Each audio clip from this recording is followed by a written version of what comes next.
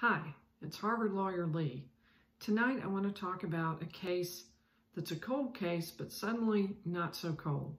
I want to talk about the disappearance of Kristin Smart. Kristin disappeared 25 years ago in 1996.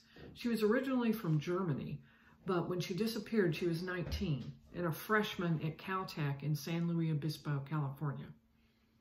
Yesterday, actually Monday, um, depending on when you're hearing this, um, Monday, March 15th, 2021, police executed a search warrant at the home of Ruben Flores. Now, Ruben Flores is not, so far as we know, suspected of anything in connection with the disappearance of Kristin, Kristin Smart. But his son may be. His son has been called a person of interest. That's Paul Flores. Paul was the last person seen with Kristin Smart before she disappeared. So the police executed a search warrant. Now wait, stop. What's that? What's a search warrant? A search warrant is an order from a judge that gives the government the right to go in and search a place that's otherwise private, like a home or a business. In order to get a search warrant, the government has to go in and show, show that they have some reason to believe they're going to get evidence if they go into the place. So what happened to Kristin Smart? Well, here's what is known. A lot is not known.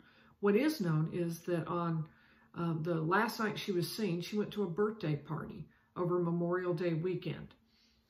Two students, Cheryl Anderson and Tim Davis, both of whom had also been at the birthday party, said they found her passed out on a neighbor's lawn. They helped her get up and were going to walk her back to her dorm. Paul Flores came up and offered to join the group and to help get her back to her dorm. Well, as the group walked toward uh, Kristin Smart's dorm, they passed the dorm for the two other students. So both of them peeled off, went to their dorms, and left Paul Flores with Kristin Smart. Paul Flores says he went back to his dorm, and uh, that was on the way to her dorm. So he stopped, went in at his dorm and let her continue the way to her dorm by herself. That was the last time Kristin Smart was seen. At that point, she disappeared in the thin air. She had no money, she had no credit cards with her, and she was never seen again. Now, various searches have taken place since then, many over, over time. Uh, a couple of important ones were on January 29th, 2020, the police confiscated two trucks that Flores owned as evidence.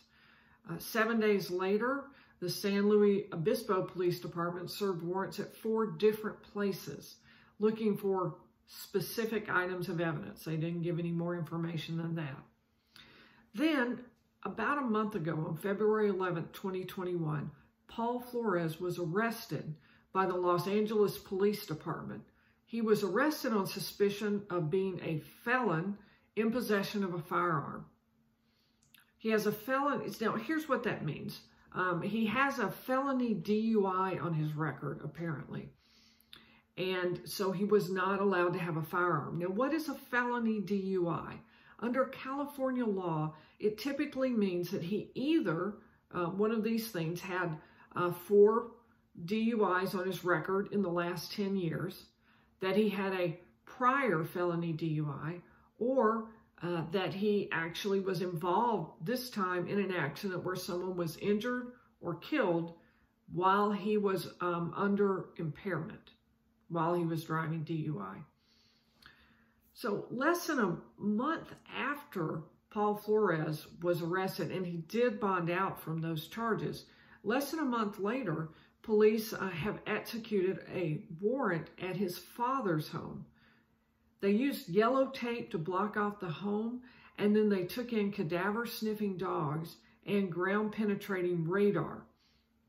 They were searching the property for clues or perhaps even the body of Kristin Smart. The dogs also searched an older model Volkswagen located on the property, and then the police took that vehicle away, towed it away.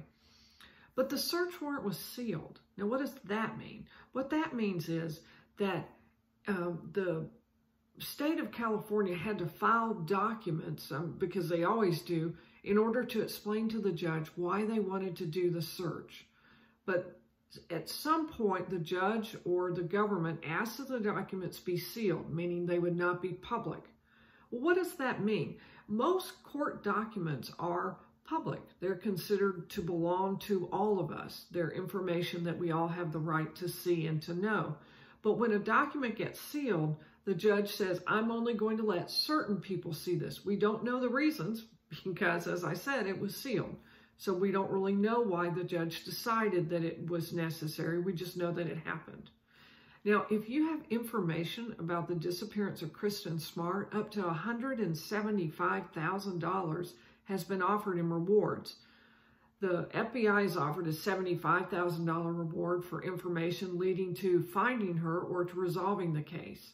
In 2016, a man, a local man in that area offered an additional 100,000. I don't know whether that offer is still good, but it may be. Will all of these searches coupled with the rewards finally get some answers for the family of Kristin Smart? We certainly hope so. Thanks. I'm Harvard lawyer Lee.